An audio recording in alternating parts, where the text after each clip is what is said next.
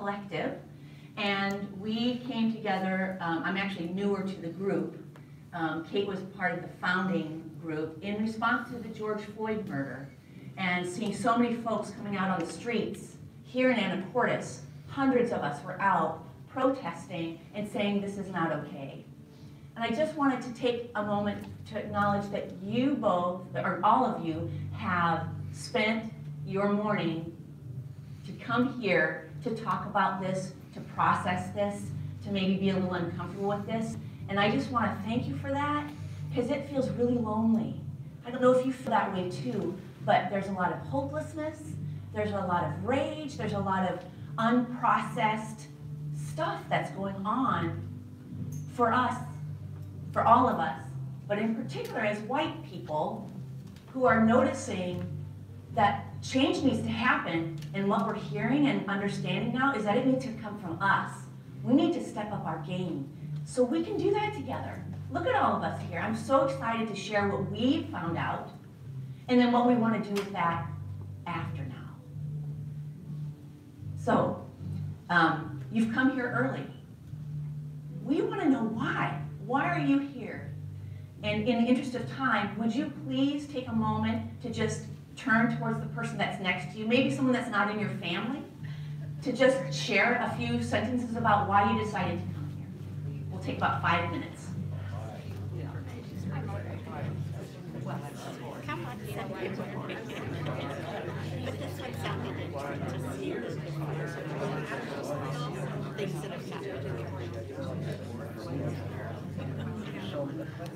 So many things.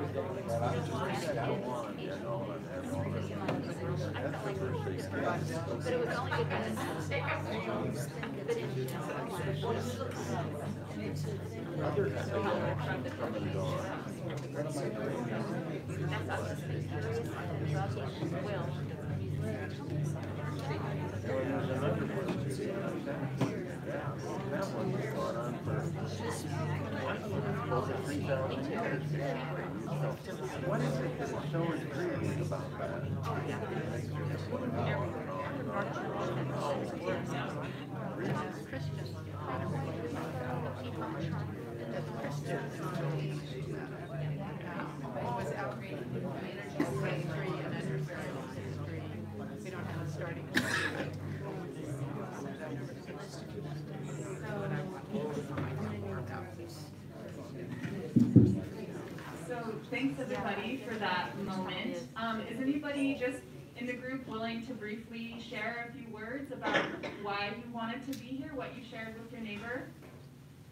Don't be shy. Yeah. I'm just, you know, intrigued that racism and anti-Semitism and, you know, it just seems to be part of what life here is. And yet all our written documents, our belief, our everything specifically says you, that is immoral, that's sinful. And how does this, how does it go on and on? And What's the attraction for it to keep up? Yeah, that's a great question. Yeah, I'm hearing you kind of acknowledge that there is anti-racism, anti-Semitism here, and it's been normalized, and that we know it as a, as a, a group of faith, that you acknowledge that this is sinful Yeah. ways of being. And, and it's written down that it's sinful, I mean, Yeah, even in the big book, Still, it's written down. And, and how can we do that? You know, some folks have talked about it being like being a fish in water, trying to describe water. It's really difficult. But if we can start noticing that, oh, there's a little, there's a- this current here, what's that? Oh, I must be in some kind of thing that's allowing me to move this certain way. That can be really helpful in what we can help each other do as a community committed to anti-racism and anti-Semitism. And so somehow all of those currents did end up allowing to bring us all here today, which is really good. Um, I'm wondering, would anybody else be willing to share what they, what they were interested them in coming here today? I'd like, just like to learn more about our history. I don't know all of these things. Yeah. Neither did we. Yeah. And um, just to briefly introduce this project to you, um, my name is Kate Clark. Uh, Kate Clark, I grew up in Anacortes, moved away and came back. Um, and then got involved with these amazing people. Uh, maybe we can just say our names to to the group. Anastasia Brensick? Rochelle Kayla, Patty Pepsi, And um, like Anastasia was saying, um, kind of with this feeling of, um, we know it's bad, but somehow it's all around us. Um, particularly during the George Floyd murder, um, there was a lot of community conversation that was happening online. And we noticed kind of a repeated refrain of, well, Anacortes isn't racist, we don't have a racist history. And that's by design, right? That we don't necessarily know the, the architecture of our, the makings of that racism. And so we actually just stole, we copycatted an idea that we saw in Bellingham. There was someone in Bellingham that just made a written document that listed some of the events in Bellingham. And so we said, well, we could do that here. And we wanted to take it a step further because they just had listed material but without the sources referenced. And that seems like a really important thing to, to be able to have that primary document that people can refer to. And so at the time, I was working at the Anacortes Museum with Will McCracken here. And there was a big event that happened, which was they digitized all of the Washington state newspapers. So it became a lot easier to find material like this because all of a sudden it became word searchable. So online for months, probably, we would meet and just have sessions with us and some other community members. One of them is here today. Katie Eastman helped us out along with many other folks who were just willing to spend time researching our really ugly history. Um, and so that's basically what we developed here, and we call it an incomplete timeline because, of course, these are just the moments that made the historic ledger. So you can only imagine what percentage that probably is actually in the, in the creation and um, maintenance of our, of our town and the way that it is. And so, um, anyways, we, um, we're thinking that maybe, so do you all have a copy? Great. So, um, every, every, uh, moment in time that you see here has an article, um, a, a newspaper article or scholarly article that is associated with it. So if you want to learn more about it, um, on the back side here, there is a link that you can go into it and actually read the original document. But we're thinking maybe for now, um, who here has had time uh, to spend with this so far? Has anyone seen this before? Okay. Most of you have not, okay. So we were thinking for now, for the next, um, let's say, eight minutes, uh, spend some time looking through this. And what we're going to do afterwards is we're actually going to, as a group, read out some of these moments in time together that stood out to you, and we'll talk about that a little bit. So feel free with your neighbor spend some time looking this over.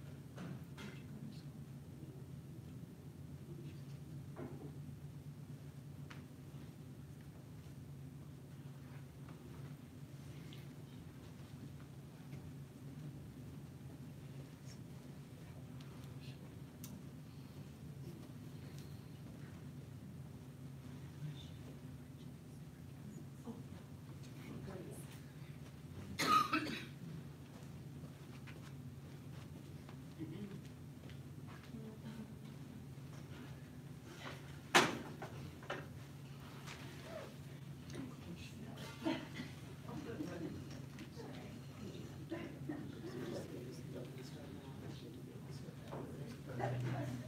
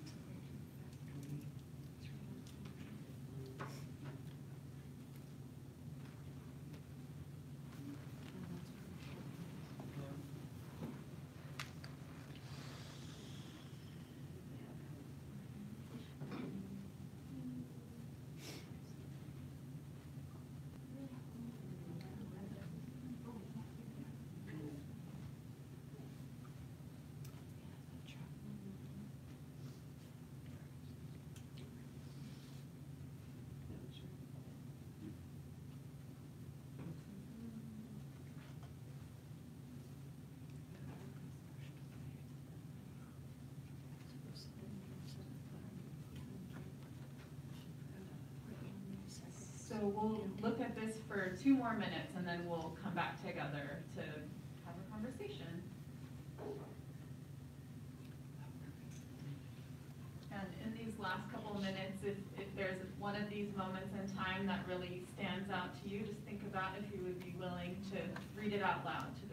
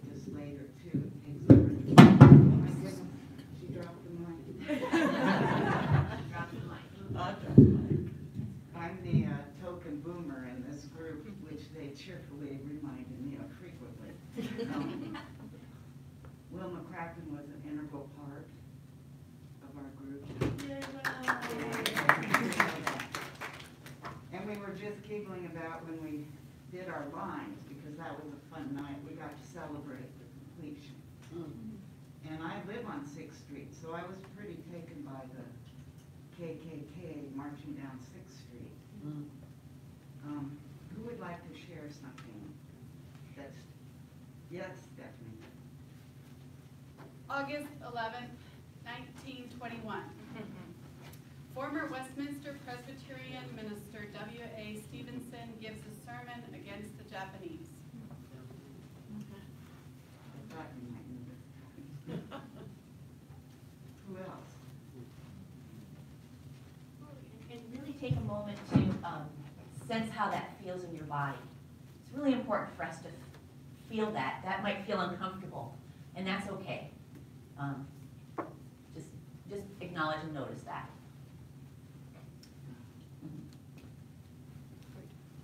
January 15, nineteen ninety-two, minority students in Anacortes struggle against pressure to conform to white society. Overt acts of racism are infrequent, but the racism experienced can be more subtle. Other students sometimes makes fun of the way she and her friends talk and mimic the slang they use outside the school. The racism can take the form of a disapproving look. I'm, sure we've all seen that. And that isn't that long ago. Val? I was looking at the May third, nineteen eighty-nine, the local attempt to change the city bed and breakfast ordinance. And Mayor Jim Rice, this has to be said, this whole issue is on account of race. This is the only reason this came up. I hope it never comes up again.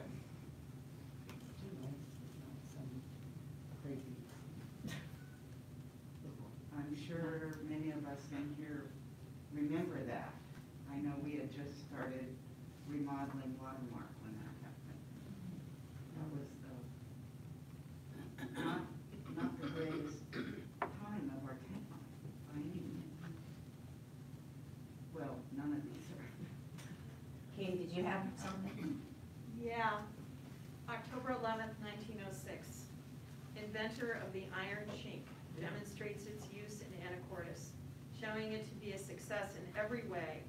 Iron chink replaces the labor of predominantly Chinese cannery workers. With the machine, workers process fish fifty to seventy-five percent faster. And the reason that struck me is because when we first moved here, we were told our chink daughter was not safe coming near our office. Wow. Yes. Yes. And I didn't know where the word came from. Now I do. Yes.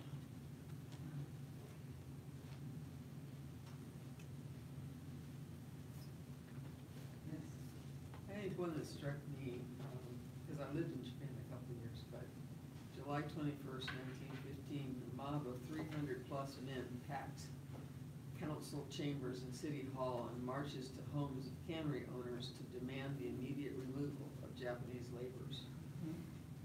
This is a great segue, because we'd like to read that out loud. We'd like to have you um, kind of bear witness to what that looked like at the time, because it was written down. And so we have a two-page, um, what do you call it? Uh, Script, thank you. Um, That uh, we'd like to pass out and have um, you all read it out loud together. So whoever has the, um, yeah, we're gonna pass those out. Whoever's willing to read out loud.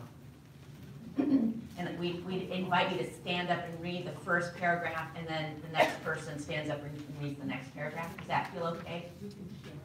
We could have coached you better.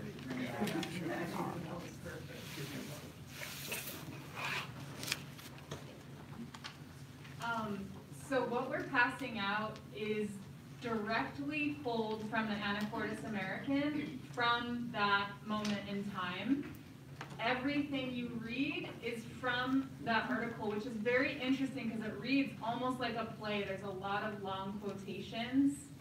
Um, so what we were thinking, if you're willing to read and to project, is each person who wants to read will stand up and read a paragraph. And then the next person stands up and reads the next paragraph. And we'll just go around in a circle until we finish it. It will take about 12 minutes for us to read this. And there's a lot of names. So before we go into reading it as a group, I just wanted to introduce these people, these names to you that are listed in this article. So we have Evie Anson, who's a city council member. We have E.V. O'Grady, who is the principal speaker of the crowd who was arrested the day before for inciting this mob. We have the sheriff, Ed Wells, who deputized just a, well, a dozen, right? What is a score? How many? What's in a score? Does anybody know? Twenty. 20, 20 citizens, 20 citizens were deputized to respond to this mob of 300 people um, by this sheriff. we have the first mayor of Anacortes, um, Hogan, who uh, shows up also as a Confederate soldier um, earlier in the timeline. So that's who Hogan is. Um, we have a mural of him at the city hall. Um, so then we have W.A. Lohman, maybe a familiar name to some of you, and Fred Fulton, who are the local cannerymen, so the people who run the canneries. We have Councilman Dovers, the chairman of the meeting. We have City Clerk Cortland C. Temple, the meeting secretary. City Council Member Allen, and then we have the Reverend Henry, Fer- or excuse me, Harry Ferguson, who shows, who shows up. And then we have Councilman Jack Trafton. So, Um, do you know Yeah. anything about Harry Ferguson? I actually tried to find what church he was from, and I couldn't find it. that's a good question, I'm not sure. Um, however, th- this is a great thing to ask, because since these documents are word searchable, if you go to washingtondigitalnewspapers.org, I believe, you can do keyword searches within the Anacortes American. So you could type in Ferguson and see what comes up. So it might be interesting. I mean, even just doing searches of reverend, you know, from the late 1800s to early 1900s could lead to some interesting results. So I don't know what church he was affiliated with. Does anybody here know? Okay, so are you all feeling ready to project? Um, one thing to mention too is this is a primary document, so there are racial slurs that are used in this. Um, so it's important to mention that because we're, we haven't changed the language. So there may, it may bring feelings of discomfort and that's, uh, we're holding this room as a container for that. Um, okay, is anybody willing to begin with the heading in the first paragraph? So if you're willing, please just stand up Are we and, starting with the F word? All danger of violence is now believed to be over. Anti-Japanese agitation subsides as rapidly as it started, and crowds take advan advice of committeemen to conduct themselves in orderly manners and go home. Investigators arrested and saloons are closed Tuesday nights. Demonstration looked for a while as if serious results might follow. Cannerymen are roused out of bed and crowds threaten to oust Orientals. Last night probably saw an end to the danger of labor troubles in Anacortes, in contrast to the meeting of the night before. Crowd that gathered in front of the city hall last night was in a peaceful mood, was made up mostly of spectators. Evie Anson, uh, one of the committee men appointed at Tuesday's night mass meeting, made a report on his interviews with cannery men from a window at the city hall. The gist of his report was that local cannerymen are obliged to stand by the labor contracts they made last fall, but that more white labor will be employed in local plants this year than ever before. He advised the crowd not attempt any disorder because of the fact that there were too many deputies on guard, and any disorder would result in a severe sentence to E.V. O'Grady, who was arrested yesterday noon on a charge of instigating a riot. A score of more deputy sheriffs under the direction of Sheriff Ed Wells were on duty throughout the day, and some of them will remain until all danger of trouble is past. Following a demonstration against the employment of Japanese in local canneries, E.V. O'Grady, the principal speaker at the mass meeting of the unemployed at the city hall Tuesday night, and Martin Hayes, a local bartender, were arrested yesterday noon by Sheriff Ed Wells on a charge of instigating a riot and were taken to the county jail.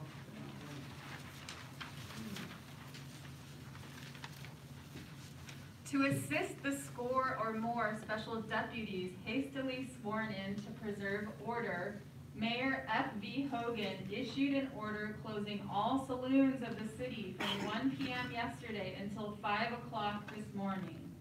Tuesday night's anti-Japanese demonstration consisted of a mass meeting of more than 300 men. who packed the council chamber and filled the street in front of the city hall. After deciding to get rid of the Japanese that night, the meeting, by practically a unanimous vote, decided to take the city council along. Starting on their mission, the crowd decided to first send a delegation to wait upon local cannery men and called on W.A. Loman and Fred Fulton at their homes at a late hour at night and told them that it was the sense of the meeting that the Japanese must go. When it began to look as if trouble would occur, Sheriff Wells was called up and arrived at a time when the delegation was calling upon Fred Fulton. The crowd was then waiting in the street for committee to return. The sheriff advised them to go home peaceably and take the matter up with the cannery men in the morning. But it was not until two o'clock in the morning that the crowd finally dispersed. When the council convened, the council chambers were packed. After hurrying through the regular order of business, the council took a recess and turned the rooms over to the mass meeting. Councilman Dobers was selected, was elected chairman of the meeting, and city clerk Cortland C. Temple was chosen as secretary. The first speaker was Reverend Harry. His plea was that no harm should be done um, the Japanese laborer, as they are not to blame for accepting employment wherever they can get it. The interest that has taken, that has been um, shown here, should show these officials that some action should be taken. I belong to a great army of the unemployed. We have great natural resource, we have a great natural resource here that should greatly benefit the citizens of this. Local people who pay taxes and are citizens should have the first benefit from this wealth by being given the first call for employment. Most of your canneries have received parcels of land from the city on which to establish their plants. And we citizens here demand first consideration as workmen in this industry that should make this city one of wealth. The unemployed of the city demand the first call. Our merchants ought to be interested. We buy our groceries, we pay our taxes here. There is more poverty in Anacortes homes than you think. I believe in law and order, but as others are reaping our reward, we do not plead, we demand our rights. I do not blame these laboring men who have been brought here. They came because they were hired, but we demand that they take second place.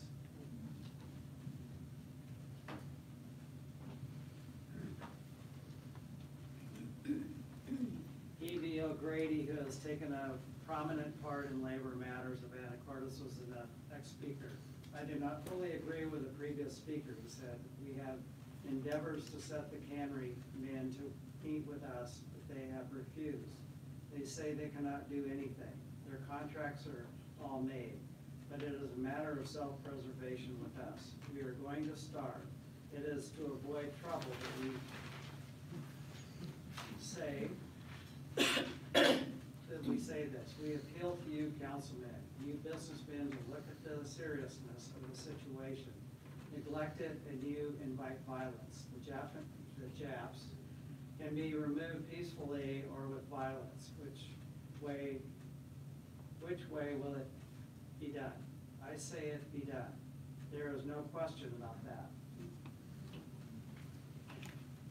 We are hungry and are going to get those jobs. The businessman is neglecting an opportunity to see the local citizen and taxpayer get the job that belongs to him.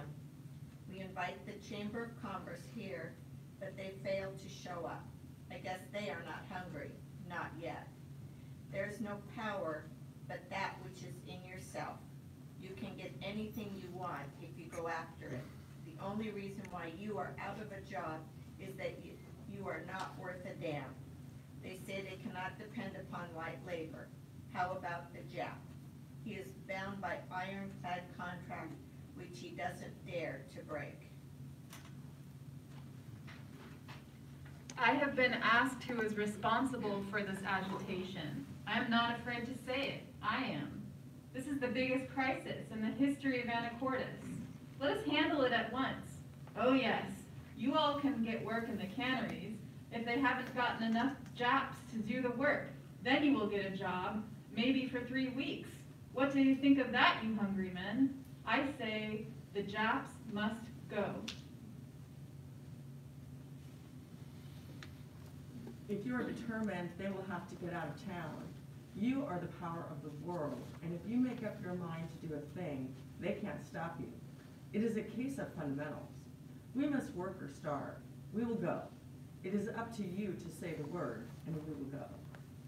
Let's go tonight, someone yelled in the crowd. Tonight's the night. Then, said O'Grady, big night tonight. I have heard lots of fellows say, let's hang that Lohman. What good would that do? The Jap would still be here. I say let's get rid of the Japs. Now, before we go, let me say, there's no desire for violence. Let us intimidate them by force of numbers. But don't forget the motto, the Jap must go. These cannery men are of the class that says, let us go down and clean Mexico, not on your life. I'm fighting for O'Grady. Let us take the city council along with us.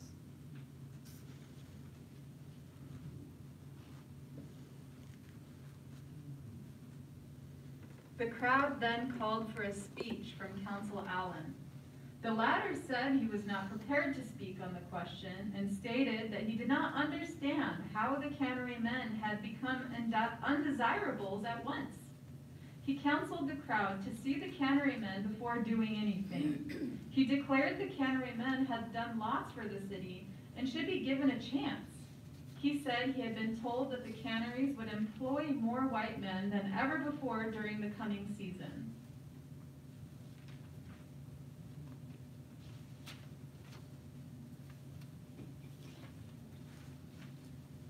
More white men will get work for three weeks, shouted someone in the crowd.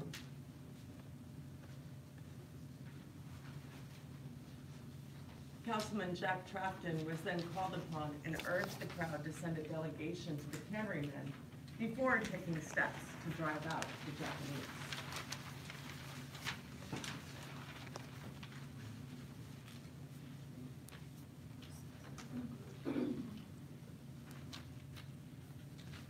Grady then took the floor and said, "You have got them scared already, and now it's the time to go to it and get what you want. I'm ashamed of this spineless bunch of councilmen. More citizens are here than ever turned out at a council meeting before, yet they are trying to crawl out. Who are they representing anyway? This is the night, the big night tonight, when we will start the Japs on their way. Let's take the council along. The cannery men will not lose a cent as they are protected by ample bonds and they do not stand to lose a dollar. Now we want an expression from this council. If they do what we want, all's well and good. If they don't stand by us, we'll take them along with us. Reverend Ferguson tried to overcome the idea of violence. Deep in your hearts, you know there is a sensible way to go to this, at this problem. The riot spirit doesn't get you anywhere. I've faced mobs before. I do not hate anyone who lives by the sweat of his. I have protected foreigners before, and I am ready to do so again. If you draw a club against a laboring man, the club and the gun will be raised against you. I will protect them as I would protect you. We should go to the cannery men and tell them what we want. You use force, and you enlist force against you. There is no intent to use force if there are any other means, replied Mr. O'Grady. The council doesn't care to come, they will go where they will not be elected next year.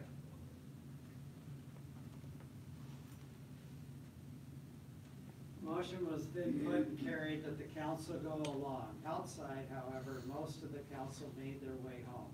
The crowd then went down to Fifth Street and up to Seventh Street to Lohman Home, where a committee consisting of O'Grady, Councilman Dover, and Edie Hanson waited on the cannery men.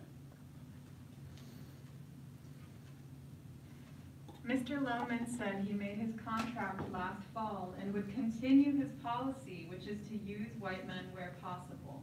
He declared that he will use more white men this year than ever before.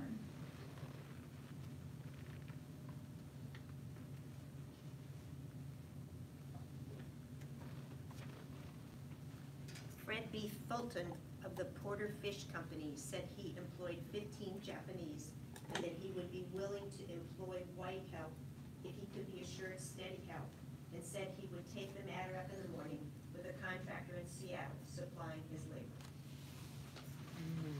Okay. So maybe just take, um, just this moment to take a collective breath.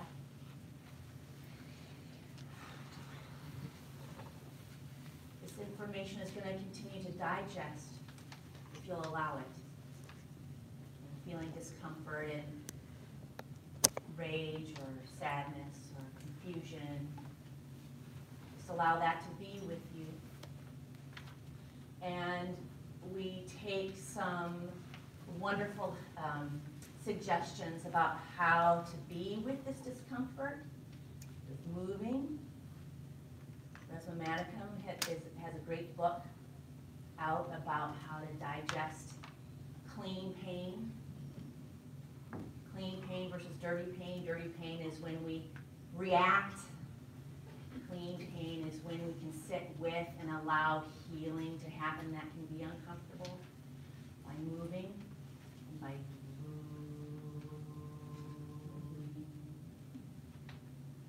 take that with you as a suggestion to help process it. Well, we also want to know how that sits with you. We have just a few minutes left. How are you? What was it like to read this out loud? What moments stood out to you from reading it? Or, or hearing it? I feel like this is something we've yet seen again in more recent times. And it feels uncomfortable that we haven't learned from one of many first times. Yeah, more than a hundred years ago, and some of the language feels so familiar. I remember being at a city council meeting just recently where there was like the hundreds for um, ousting a group of people in our community recently. Can you expand? The houseless. Yeah. Oh, oh, oh. I think this is so timely with regard to what's happening with the College Board, changing African-American history, denying it. Um, Even though we finished this quite a while ago, I'm, I'm pleased to see this renewed interest because these practices are not going away. And it's up to us to do what we can. I remember crying when Obama was inaugurated. I was so, I was just so excited that we had moved to a place that we could elect a black president. And then being so disturbed in the next eight years at the racism that just reared its ugly head, you know, because of that. But, you know, it's like, how many steps forward, how many steps back? It's just, mm-hmm. you know, it's, Well, it seems like we moved from one group to another. Salish to the Chinese, to the Japanese, to the black, to the Mexican now, or whoever. I mean, we never, we didn't learn any lessons from, you know, whatever. I mean, it's like, people need somebody to pick on, or if they aren't getting what they feel like they need, then it must be somebody's fault rather than their own. Yeah, I mean, the Japanese took those jobs. I mean, did the whites really want those jobs? I mean, mm-hmm. were they willing to work that hard? I mean, I don't, you know, Right. it's. Because at the end, there's a, a cannery person who says he'd be happy to supply more contracts if there was available white labor. Yeah, Exactly, exactly. exactly. I saw that. So you're bringing up a really big point, that it's not just about an individual crowd or type of person that this ideology is directed to, right? It travels throughout time.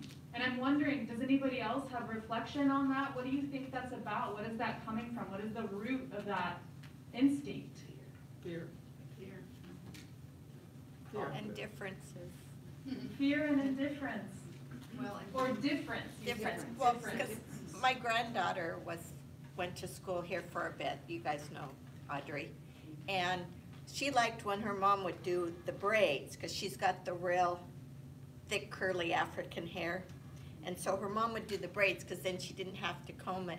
But one day she went to school with them newly done and got teased and so she had ripped them all out during mm. school and came home kind of, mm.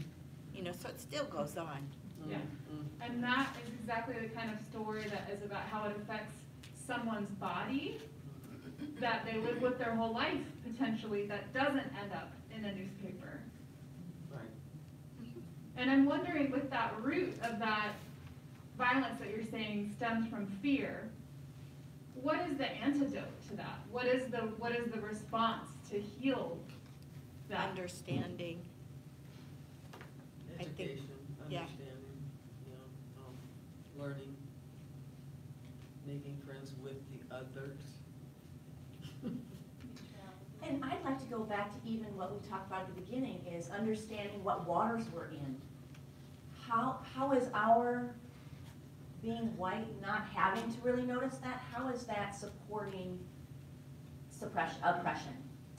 How can we look at the history of liberation movements and do it differently this time? One way is to link arms and not say, no, you know, the feminist movement, well, you're gay, so, you know, and everyone's calling us these terms. So you sit down, we're just gonna keep moving forward for the rights of women, and then, you know, those of us who are part of the LGBTQ community don't get acknowledged, we get pushed out. Now, let's learn from our mistakes in that way and link arms, and not let our houseless folks down, not let our brown and black friends down, not, not let our, um, other folks down, but link arms. youth. Trans youth, exactly right. Yeah, so I, I looked up what the population of Anacortes was in nineteen hundred, and it was about not quite fifteen hundred people. Wow. So this Wow. crowd of three hundred Wow. was a fifth of the population. I didn't even think of that. Which is, you know, it's a fifth of the population, but, you know, there's the other four fifths. And who knows what they were thinking. And I think that has been it, you know, o- over the years too, is that, is that the majority think these, this minority of vocal, horrible, you know, expression, um, is not what we really are. And I think when people say, oh, there's not racism in Anacortes, they think it's not who we really are. Um, but if you're not really ta- doing anything about it, then, you know, it- it's, you're allowing it. Yeah, where are the other twelve hundred? Yeah. Well, but remember, half of, or part of those were women, and that, that weren't really allowed to go out and protest like that, and, you know, back in the, so. Yes, well. So it is a larger percent of, of those, but then you still have those, yeah, that would sit back and not speak up and say this isn't right. so. Yeah, I But historically too, women actually, because with the Chinese Exclusion Act and then with trying to stop Japanese laborers, there were actually a lot of Euro-American women that right around this time started working in the canneries. Mm-hmm. So they were familiar with what was going on too. But it doesn't appear they were at, or at least mm-hmm. in minority, Yeah. at the protest. Well, we wouldn't be acknowledged, right? Yeah, If we were that's there. it. If, if you were there, you weren't acknowledged, Yeah, of they're course. just called men. So I know we have to, oh, there's one last hand and then we'll, yeah, please. I just wanted to say, a few years ago, um, in our schools, we had pulled students together and asked about their experiences with racism. Um, and they shared some really heartbreaking things. Um, and at that time, our district made a real effort to try to address that with staff and raise awareness among staff about racism in our schools and how our students experience it. Because I think it does go definitely was under noticed um, and under addressed. And then there was a backlash from our own community here in Anacortes, and that work stopped. And I know that it, that partly was COVID, the COVID disruption to education. But it really troubles me that we have not come back to that. And that Yes. every day in school, Yeah. I see, witness children Yeah. being affected by this. And, Right. and I feel like there's a, you know, solid response in my own school, but I know that it, that, that's not the case everywhere. Yeah. Um,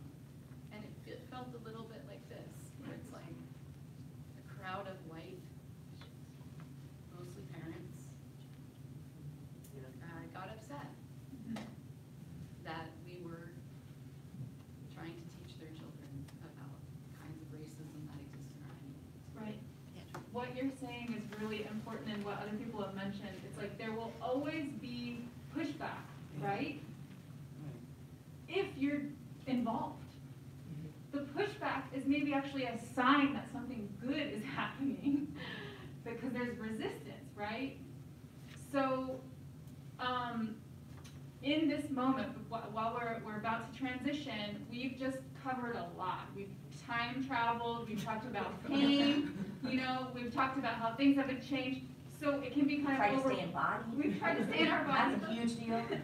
And it can be kind of overwhelming to then leave this space. So in this moment of like aftercare from this, I want you to ask yourself, with this idea of linking arms, right? Your one next step, just for tomorrow, that you're gonna do in response to this, to take care of yourself and your community. It can be something as simple as sharing this material with someone. It can be something as simple as reaching out to volunteer, to donate. One small action that is pushing what you believe is important forward. Because we are in these tides, right, in this water. So what are, what are we doing in this tidal system together? So I want you to just think about that for the next 30 seconds. What is your, what's your action? Would you announce this so. And the email, yeah. Yeah, what, another thing can be if you wanna sign up, we're gonna be hopefully involved in more efforts, so you can sign up and we'll stay in touch. And thank you for your active participation. Yes. Yes. It's so inspiring. Thank you. Yeah, and let's, one more time, we just. And, and- and I will tell you that I actually went to, I can't remember which one of these people, but I said, hey, you know, I had an experience that I would love to share for your research, and they said, it's not documented. We won't take it. And so I really admire your, um, you know, your, your, your commitment to primary source. And, um, I think that then we have a responsibility when we know these. Um, why don't we take about twenty seconds for silence, and then I'm gonna close us in prayer. So let's do that.